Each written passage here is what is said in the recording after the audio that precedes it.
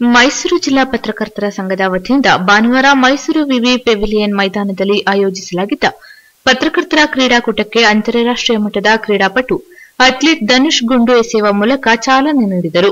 ಬಳಿಕ ಮಾತನಾಡಿದ ಅವರು, ಪತ್ರಕರ್ತರು ನನ್ನ ಪ್ರತಿಭೆ ಗುರುತಿಸಿ ಮತ್ತಷ್ಟು ಸಾಧನೆ ಮಾಡುವಂತೆ ಪ್ರೇರೇಪಿಸಿದ್ದಾರೆ.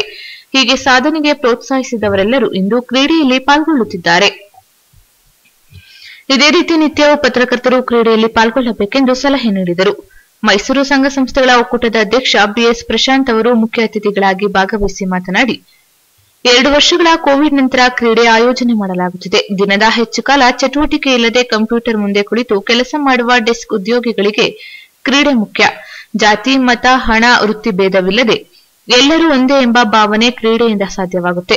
ಹೀಗಾಗಿ ಪ್ರತಿಯೊಬ್ಬರು ಒಂದು ಗಂಟೆ ಕ್ರೀಡೆಯಲ್ಲಿ ತೊಡಗಿಸಿಕೊಳ್ಳಿ ಎಂದು ಸಲಹೆ ನೀಡಿದರು. ನಾನು ಗೆಸ್ಟ್ ಆಗಿ ಬಂದಿಲ್ಲ.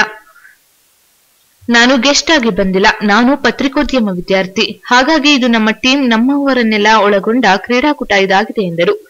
ಮೈಸೂರು ವಿವಿ ದೈಹಿಕ ಶಿಕ್ಷಣ ವಿಭಾಗದ ನಿರ್ದೇಶಕ ಕೃಷ್ಣಯ್ಯ ಮಾತನಾಡಿ, ಕ್ರೀಡೆ ಮನುಷ್ಯನ ಅವಿಭಾಜ್ಯ ಅಂಗವಾಗಿರಬೇಕು. ಯಾರು ಉತ್ತಮ ದೈಹಿಕ ಸಾಮರ್ಥ್ಯವನ್ನು ಇಟ್ಟುಕೊಂಡಿರುತ್ತಾರೆ, ಅವರಲ್ಲಿ ಒಳ್ಳೆಯ ಅವರಲ್ಲಿ ಒಳ್ಳೆಯ ಆರೋಗ್ಯ ಇರುತ್ತದೆ. ಜ್ಞಾನ ಸಂಪಾದನೆಗೆ ಚಟುವಟಿಕೆಯಿಂದ ಇರುವುದು ಅಗತ್ಯವಿದೆ. ಇದರಿಂದ ಜೀವನದಲ್ಲಿ ಯಶಸ್ವಿಯಾಗಲು ಸಾಧ್ಯ. ಕ್ರೀಡೆ ಎಲ್ಲ ಸಂಬಂಧವನ್ನ ಬೆಳೆಸುತ್ತದೆ ಎಂದರು. ಜಿಲ್ಲಾ ಕಾರ್ಯನಿರತ ಪತ್ರಕರ್ತರ ಸಂಘದ ಅಧ್ಯಕ್ಷ ರವಿಕುಮಾರ್ ಮಾತನಾಡಿ, ಎರಡು ವರ್ಷದ ಕೋವಿಡ್ನಿಂದ ನಾವೆಲ್ಲ ಮಾನಸಿಕವಾಗಿ ಕುಗ್ಗಿ ಹೋಗಿದ್ದೆವು. ಆದರೆ ಈ ಅವಧಿಯಲ್ಲಿ ನಾವು ಚಟುವಟಿಕೆಯಿಂದ ಇದ್ದುದರಿಂದಲೇ ಆರೋಗ್ಯ ಕಾಪಾಡಿಕೊಳ್ಳಲು ಸಾಧ್ಯವಾಯಿತು. ಎಲ್ಲರೂ ಕ್ರೀಡೆಯಲ್ಲಿ ಭಾಗವಹಿಸುವುದೇ ಸಂತೋಷದ ವಿಚಾರ.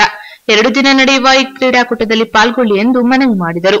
ಜಿಲ್ಲಾ ಪತ್ರಕರ್ತರ ಸಂಘದ ಪ್ರಧಾನ ಕಾರ್ಯದರ್ಶಿ ಸುಬ್ಬಣ್ಣ, ನಗರ ಕಾರ್ಯದರ್ಶಿ ಪಿ ರಂಗಸ್ವಾಮಿ, ನಿರ್ದೇಶಕರಾದ ಶಿವಮೂರ್ತಿ, ಜುಪ್ತಿಮಠ ಸುರೇಶ್ ಕೃಷ್ಣ ರಾಜ್ಯ ಸಮಿತಿ ಸದಸ್ಯ ರಾಘವೇಂದ್ರ, ಗ್ರಾಮಾಂತರ ಉಪಾಧ್ಯಕ್ಷ ಧರ್ಮಾಪುರ ನಾರಾಯಣ, ಸದಸ್ಯರಾದ ಎಸ್ಕೆ ಚಂದ್ರಶೇಖರ್ ಹಾಗೂ ಸಂಘದ ಎಲ್ಲ ಸದಸ್ಯರು ಹಾಗೂ ಮತ್ತಿತರರು ಹಾಜರಿದ್ದರು.